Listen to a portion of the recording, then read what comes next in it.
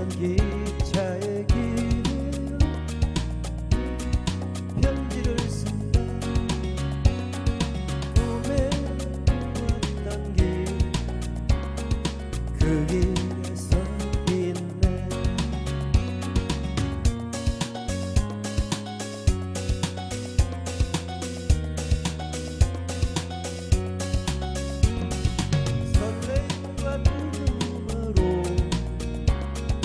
누가